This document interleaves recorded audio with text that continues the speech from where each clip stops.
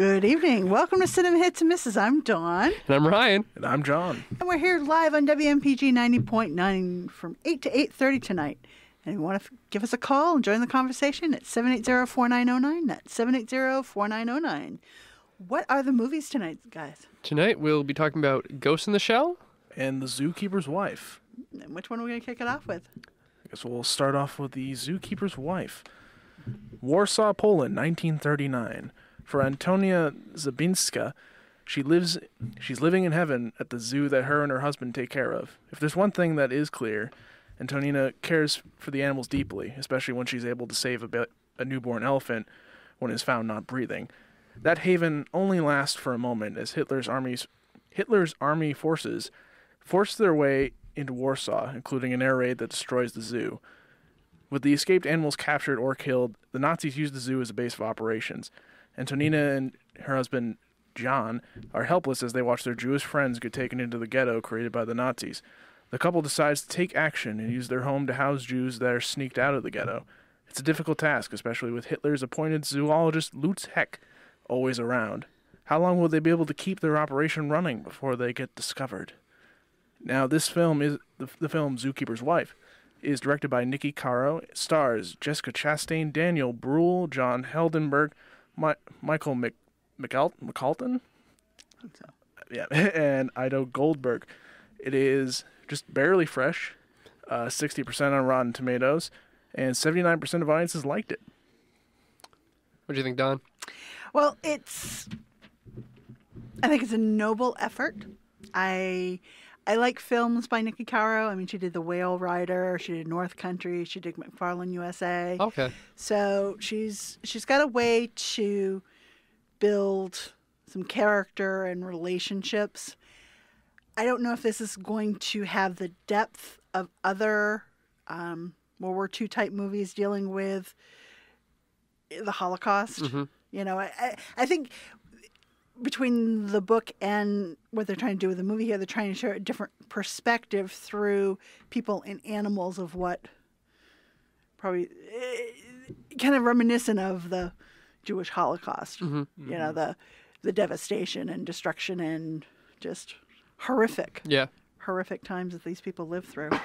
Mm-hmm. Yeah, I, I definitely agree. It's a, a like you said, a noble attempt. I, I, I don't know. I kind of like sat through this movie. I, I, I felt like the biggest issue. It didn't feel like it had any focus.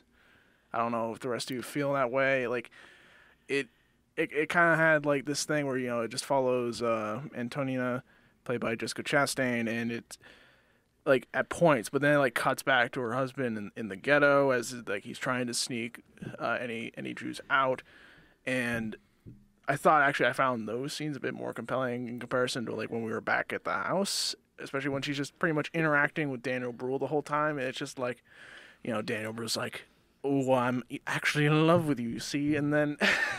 And then there's like this forced like jealousy plot that they kind of like put in there with like her and her husband and the and Daniel Bruhl's character, and I'm just like shaking my head as this is happening. I'm like, of course they're gonna throw this in here, you know? to build some tension. I mean, Yeah. it's- Yeah, I think with with the the jealousy thing, it did seem forced because she could have talked to her husband when that happened because there's definitely the focus there's definitely two stories going on. You have her husband getting the Jews out of the, the ghetto and you have her playing the front of the zoo because the Nazis have taken over her zoo as just a kind of a not a fortress but like a, a camp where they stay. So she has to keep the front, and he has to, you know, go underneath it. I think for the kids, especially, uh, do you have the name of the young girl? I don't. Uh, Shira Haas, She was amazing. Um, Ursula. yeah, she was really, really good. Um, and I think she definitely, her character was, um, like the eyes, I guess, of, um, or gave the the Jews, um, as a whole, kind of a, a, character for the audience to really relate to because during the movie there'd be Jews who were staying who would get out and then so it was always like a constant stream of people coming in, coming out, but her and some of the other family members they kind of stayed. But since she was by herself when we were introduced by her, we're definitely pulled in more to her, and I felt more for her than Jessica Chastain because yeah, I because it is based on a true story. Um, but I think with the romantic stuff with Steve Brule, Dave Daniel, Brule, Daniel um, I, Don, did you read the book? Have you? I didn't read the book. Okay. Um, so Um, I, I know that it was eh, based on their diaries, Okay. Yeah. and I, I didn't read whether or not If that, there's that the character romantic- was there. But Okay. Because that one definitely felt more of a rom- not romanticized, but like a dramatic, um, added more drama to the story. Um, so that definitely it took me out of like. I know it's not like a documentary, but it took me out of the more historical section of the movie where it's just like, oh, now I'm in this romantic affair, not quote unquote affair movie. Um, so that kind of pulled me out. But I mean, it was, like you said, and what John said, it was a very noble attempt to make. Yeah, there was a movie probably 15 or so years ago called Shining Through, which was Michael Douglas and Melanie Griffith and Liam Neeson, which which dealt with spies going behind the lines, Mm-hmm. which in this. It, for that romantic Yep. triangle Yeah. bit, that reminded me of that other movie. So, here in The Zookeeper's Wife, that it was a tension that could have been added that was probably added to the original story. I think there was a character Some- that yeah, yeah. was a zoo- zookeeper, and of course, that zookeeper here is really on the eugenic side, Yep. wanting to create the perfect animal and bring resur- So there are so many of those Nazi themes in there. You you know, being best friend with Hermann Goering, and so p- plucking enough of those tones of Nazi Germany, Mm-hmm. but probably not the depth that we have seen in other Yeah. World War II movies. Yeah. And if you're just tuning in here on Cinema Hits and Misses, we've got John Ryan and Don talking about The Zookeeper's Wife. If you've seen that, or our next movie, Ghost in the Machine, Ghost in the Ghost Shell. Shell. Yep. You give us a call at 780-4909. That's 780-4909. I mean, I think if people are looking at other Holocaust, if you're comparing this with other Holocaust movies, let's say a Schindler's List, it's Yep. not going to have that much gravitas to No. it. Um, Schindler had a deeper impact. Mm-hmm. But the fact, I mean, this is a pretty astounding story for this couple. Oh, yeah, I- yeah. I, I, Yeah. I- Uh, we're, we're, we're trying not to knock like the actual story. It's incredible. They Yeah, saved yeah. 300 people. It's which is- the execution, I think, Hmm. more uh more than the story as a whole.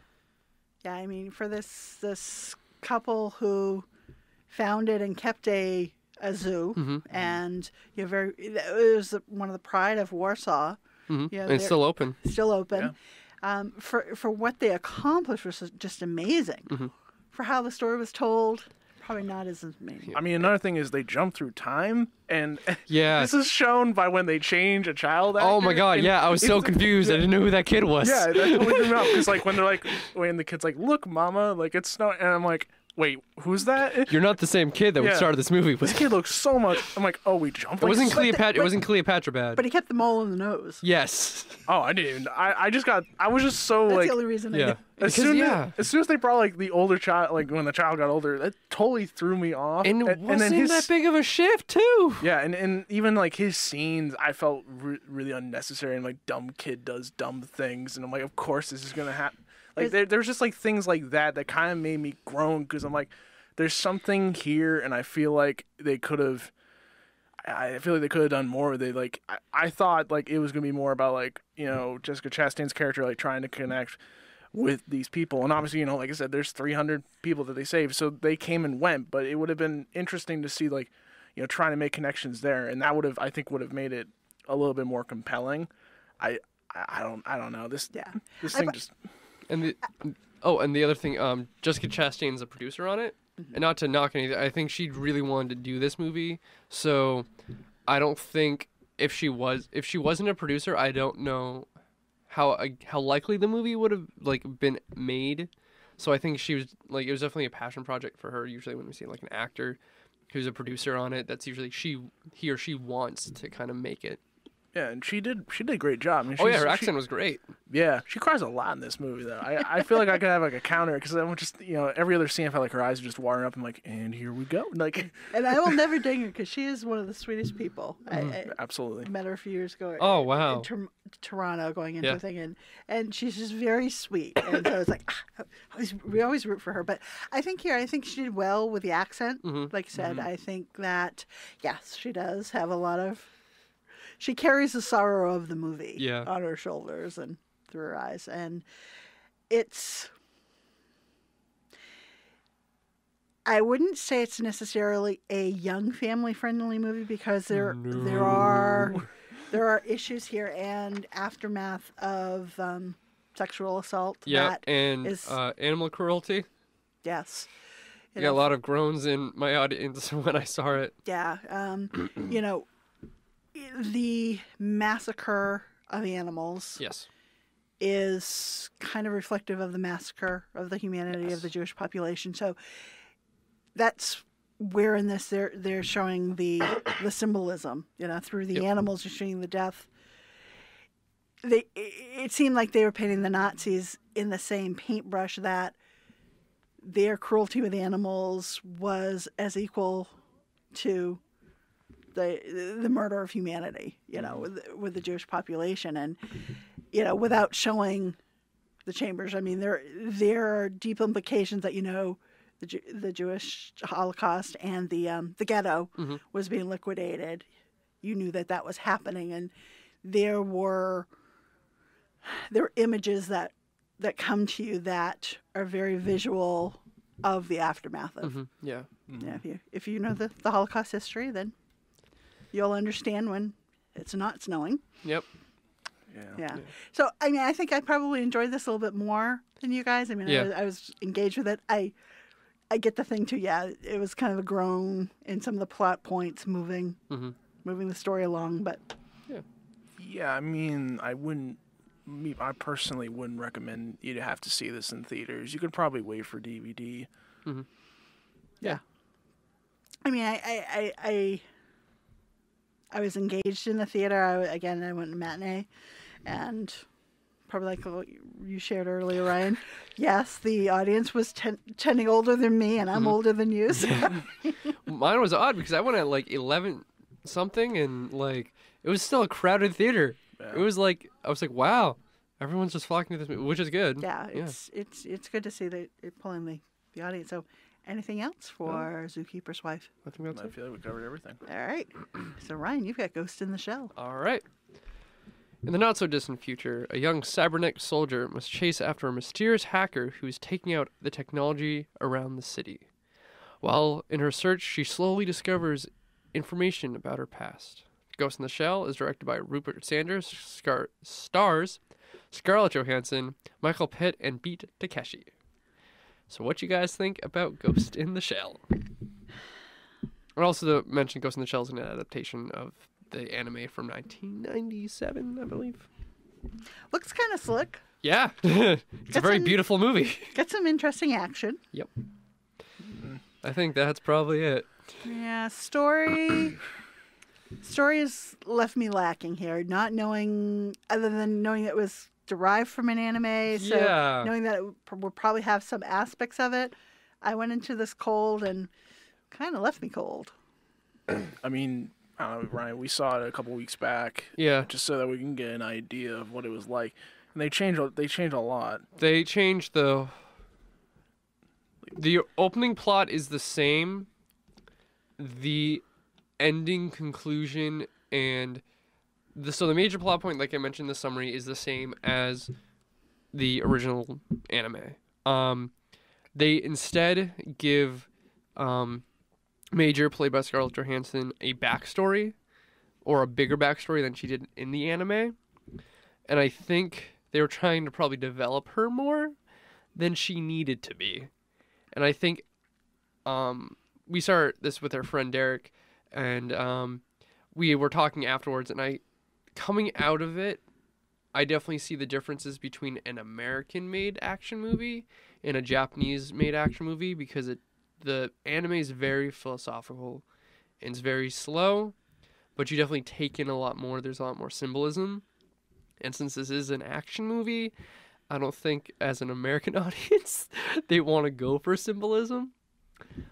Yeah, Yeah. I mean, I, I, f- I feel like that the anime was very heavy on you know certain concepts about you know where the future could be with human and technology. Um, this this movie to me felt like it was trying to be both smart and an action movie, and it failed on both levels. Yep. Yeah, I mean, you've already got the concept that most people have a crooked neck because they're always looking at the phone, which is always atta- attached to the palm of the Yep. hand, and of course the the Fitbit wristlings Mm-hmm. and things that get tattooed under your skin. So we're moving closer to that. Yeah.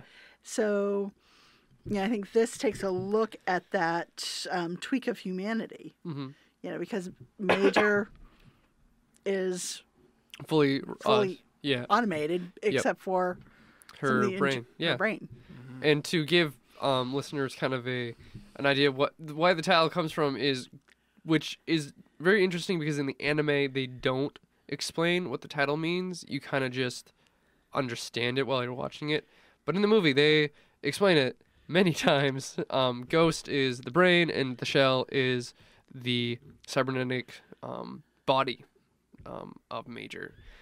But I found that that remind me of when the the last Airbender came out and they kept on saying the word Avatar over and over so the audience would understand it and I I don't know, like it it it fell to like this this kind of movie where it was like this amnesia story, like you don't really know about your past, you're the one, I you're so unique. I it just felt so contrived and cliched. I'm just like it did not get me invested at all with what was happening. yeah I, th- Yeah. I think there's only like a few action sequences I thought were cool and they're the ones that they pulled from the actual anime that it was like oh this is from that part of the movie. Oh that's yep that's it. I I honestly think my favorite scene was the the deep dive when like they're yeah. they're looking at this like they you know they uh, they take this robot in they're like trying to figure out its memories like how it could have gotten corrupted.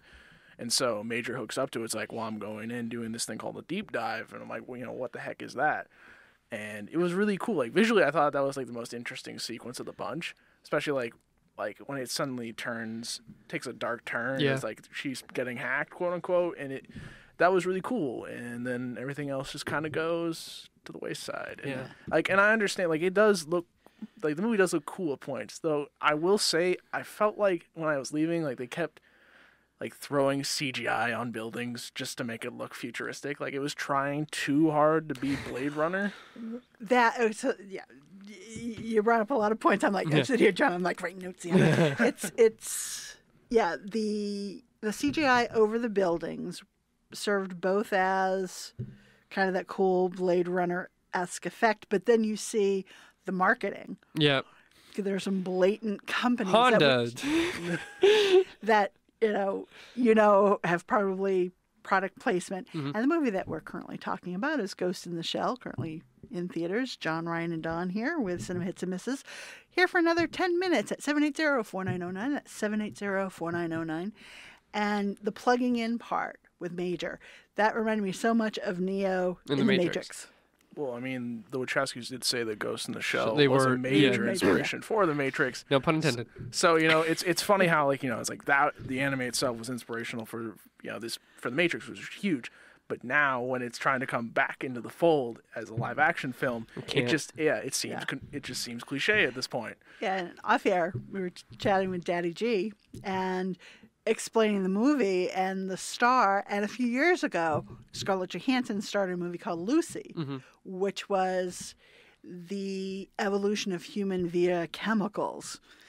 And I think that was a, a more successful transition for this type of character yeah in that the the evolution of her internal processes until she turned into what she turned into. Mm-hmm. Don't want to give the spoilers away for Lucy, but I think that was a, a more successful transition than this. yeah Uh,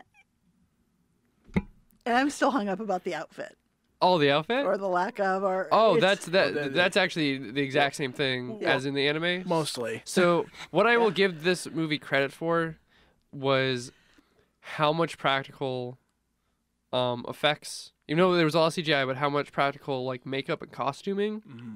Mhm. Um, the suit that you're talking about is Yeah. her. Um, I forget the name of it. It's it's what makes her invisible. Right. Um, that's all. I believe it's all silicone, so it's a lot like really. I saw behind the scenes thing, so it was really cool to see. And then the um, um, the geishas that was all prosthetic. There's a scene with um, robotic geishas, and it's all real like plastic, hard plastic on the actresses. So I'll definitely give this credit, this film credit for tr- making it all the real things as real as possible. Like even Batou's eyes, which do look ridiculous, but that's what it looks like in the anime. Yeah, but that's that's the thing. In the anime, he just had them to begin with. Yeah. Whereas in the movie, they're just like he, you know, he has regular human eyes, and then something happens in which he gets those those things. And I understand why they did that. It just doesn't. Yeah. Yeah. When it happens later on, you're kind of like, I don't know. But it, it, it's it's I know it's a Yeah. personal thing for Yep. me because I'll judge people who wear makeup and don't blend their jawline with their, Yep. their Oh, neckline. So her Oh, I see. collar, Was a different. if it's all the same material and Yep. she can go invisible, then that neck seam it was so Ah. distracting to me because if it's all the same material, Yep. then it should flow. Oh, I see. Yeah, yeah, yeah. You know, it, it looked it looked cheap Yep. Because it was two different materials. It's like, Okay. well, if Mm-hmm. It's not the same, if it's, you know, I get the concept, Yep. but it's like have that same. Because Yeah. a woman will notice when you, like I said, if you don't blend your, your makeup on your jawline, Mm-hmm. then it's very noticeable. So you know, and that's, and that's one of the stupid things that will take You different out of the people movie. out of the movie. yeah, yeah. You know, it's it's just like that little hangnail. But Yeah. you know, it's not a bad movie. No, I, I mean, it has some good effects, but we've seen so much better. better, so Yeah. many better stories that this in itself, I'm like, Ugh, save your money. Yeah. I wouldn't even. I don't know if I'd rent it. I would go I'd- see the. I would watch the anime, but just to for like American audiences, it is not your run of. Again, it's not like the run of your mill action movie. It's very slow. There's actions thrown in through it. Like if you're not as used to this like type of movie, definitely compare it to The Matrix, as well because it's a smart movie. Mhm. It's, and it's action oriented. Yeah, well. I, I I'd say just watch the anime instead, but Yeah. just keep in mind that the anime itself is not a very plot heavy thing. It's No, like the plot's almost in the background in comparison to what it is. it's more the here. the idea. yeah. the Um, and then you know, there's another thing like when we, if we're going back to cliches for a second, fall into like the evil corporate guy is evil, and it drove me up the wall. Just like no, you. Ha- I, I I don't know. This this film bothered me a lot, and I to me it just felt almost unnecessary. Like I understood why, but you know, based on the box office results, which was 19 million, mind you, I feel like uh, the very low. Yeah. Very Yeah. low. Yes, that's low. I, I know that seems like a lot. to a lot of us, man, that would be nice. But Yeah. I, I think executives just heavily overestimate like how popular, you know, anime is. I, Yeah, because anime is definitely a lot more popular than when the original movie came out. yeah, absolutely. But Um, because with like the internet now, you can just watch like anything you want to watch. Um, but I yeah, I don't think. I think the fans of the anime wouldn't go see this because they're like, this looks stupid, and people who don't watch the anime, they're like, this looks stupid. Well, you know, in, the early press, that The know, whitewash. the Yeah. whitewashing, and you know, all right, yes, I get that. Yep. But they also handle that well in the They do. They very. They do that very well. It's very. They take care of that. Yes. Which, right or wrong, what have you, but mm-hmm. there's a reason. And even it. the director of the original one said, like, yeah, it's fine because it's a robot. Yeah. So it could be anything. So yes, they do that. They were very smart in that, but not in the ed- execution of the rest of the movie.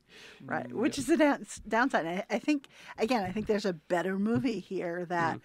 if you're talking about some of these social and technology issues, there are stronger points to be made than Yeah. they make here. Our friend Derek, who we went to, mentioned that um, the movie Ex Machina did this yes. so much better than um, Ghost in the Shell. That it's a smart movie about technology, um, and it's very well made, very entertaining. Um, I would highly re- recommend seeing that instead of seeing Ghost in the Shell. yeah, even things like uh, Stepford Wives or yep. RoboCop type movies. Yeah. Those are, uh, and of course for me, it's always Blade Runner. Yep. And so I'm really looking forward to what they do with 2027. That's the 2029. 2029? Yep. Uh, 49. 49. Yeah. So, wow. you know, that, that one for me, this one here for me is a miss. And, you yeah, know, I, I, mm. I was excited for it. Yeah. I mean, you would have been the original audience I would yeah. recommend this to. For most people, I'd be like, eh, no, yeah. this is not your kind of thing. Yeah. There's so, no, there's no need. No. Yeah. So while we've got a quick minute here, there are a couple things coming up that you, our listeners, may be interested in. I know we're a movie show, but hey, WMPG has a 2017 fashion show on Sunday, April the 23rd at the Port City Music Hall. Tickets are available at portcitymusichall.com. And also, one of the reasons I mention this is one of our friends of the show and a frequent guest, DJ Shane, is doing the music for this, and he spins some great tunes. So that may be something of interest to you. And next week, there is a showing of George Mitchell, My Journey's End. It's going to be at the Maine Irish Heritage Center on Gray Street in Portland on April the 12th at 7 p.m. and 2 p.m. on the 14th, which is Good Friday. And basically, this is about the Good Friday Agreement, where George Mitchell went to Northern Ireland in 1998 for the the peace agreement. So it follows him going back with his son. This was done a couple years ago via the BBC. It's been around, but if you hadn't had a chance to see this, um, you know, you can have a chance to see it locally at the Irish Heritage Center. And, you know, it's be a movie, a nice movie to see to see where peace can work Mhm. because it follows not only George Mitchell and his son going back to Ireland, it follows some of the children that were born the same day as his son because his son was born within a day or two of this this peace accord. So it's it was really interesting. So I put that out there to you. Now we're gonna have a quick change of schedule this month. Yep. Um, Gail and Terry are going to be here next week. We're going to swap weeks over with them. So then we'll be back here on the 20th with Ryan and John. Mm-hmm. And so we can't tell you what's coming next week, but I know there's a couple good movies coming Oh, out. yeah. I'm sure they're going to cover it. And anything else to add, guys? I think Oh, I think we're that's good. it, Yeah. All right, so we're going to wrap it up here in Cinema Hits and Misses. We're going to leave the airwaves warm for DJ Justine to take you through some Between the Notes.